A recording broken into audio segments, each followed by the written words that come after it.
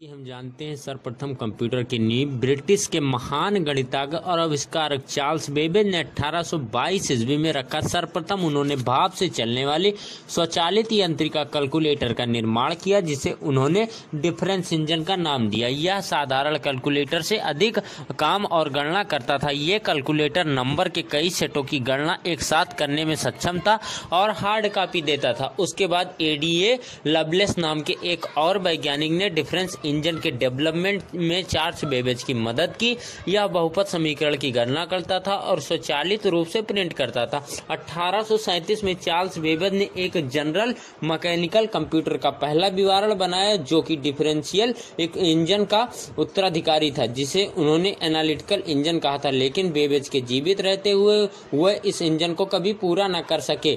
उन्होंने जिस analytical engine एकीकृत मेमोरी और पंच कार्डों का उपयोग करने के लिए प्रोग्राम काम किया था। उन्नीस सौ इक्यानवे में हेनरी और चार्ल्स के छोटे बेटे ने मशीन का एक हिस्सा पूरा किया विश्वविद्यालय में जे प्रिस्पर एकट और जॉन मिचेली ने नवंबर 1945 में E N I A C electronic numerical integrator and computer का आविष्कार किया।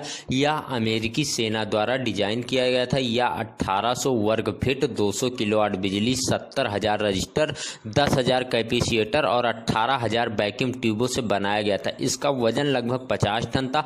हालाँकि एबीसी कंप्यूटर पहला डिजिटल कंप्यूटर था, लेकिन अभी भी कई लोग मानते हैं कि ई एन आई ए सी पहला डिजिटल कंप्यूटर था, क्योंकि यह पहला इलेक्ट्रॉनिक डिजिटल कंप्यूटर था। यह मौसम की भविष्यवाणी, परमाणु ऊर्जा गणना, थर्मल स्केलिंग और अन्य वैज्ञानिक उपयोगों के लिए किया गया है। बाद जो अगला जनरेशन आया, वो प्रोग्रामेबल कंप्यूटर आया। तो उन्नीस में German civil engineer Konrad Zuse ने दुनिया का पहला स्वतंत्र रूप से प्रोग्रामेबल बाइनरी संचालित मैकेनिकल कंप्यूटर बनाया, जिसे उन्होंने जेडवन नाम दिया। कोनार्ड जूस ने आधुनिक कंप्यूटर के आविष्कार को माना।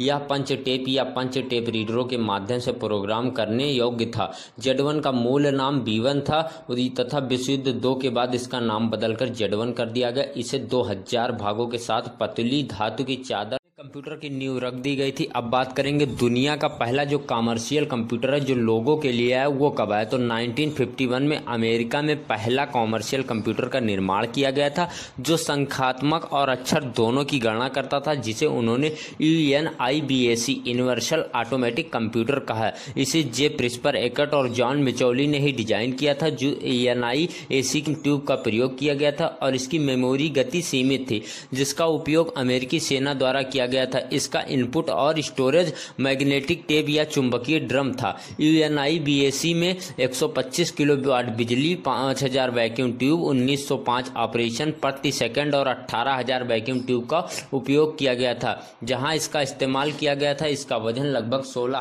कंप्यूटर आ गया था कॉमर्शियल कंप्यूटर आ चुका था। उसके बाद बात करेंगे जो पहला पर्सनल कंप्यूटर तो पहला पर्सनल कंप्यूटर 1975 में पेश किया गया। एड रॉबर्ट ने सबसे पहले पर्सनल कंप्यूटर शब्द का उपयोग किया था और पीसी थ्री नवंबर उन्नीस सौ बासठ में दिखाई दिया। जब अल्टी, अल्टीयर अठासी पेश किया गया, प्रारंभिक कंप्यूटर आमतौर पर माइक्रो कंप्यूटर कहा जाता था। जैसे पहला कंप्यूटर है, उसके बाद कुछ कंपनियाँ आगे आई जिन्होंने अपना पहला कंप्यूटर लॉन्च किया। तो इसमें जो सबसे पहली कंपनी आई थी, ये कमोडोर आई थी। कमोडोर 1977 में अपना पहला कंप्यूटर कमोडोर पीईटी पेशोर के बाद कंपैक आई। कंपैक मार्च उन्नीस में अपना पहला कंप्यूटर पहला 100 परसेंट आई संगत कंप्यूटर कंपैक पोर्टेबल जारी किया। उसके बाद डेल आ गई आई डेल 1985 में अपना पहला कंप्यूटर टर्बो पीसी लॉन्च किया। उसके बाद हेवलेट पैड कार्ड आया। उसके बाद उसने उन्नीस में अपना पहला कंप्यूटर एच पी जारी किया। यानीसी उन्नीस में यानीसी ने अपना पहला कंप्यूटर एन ई ए सी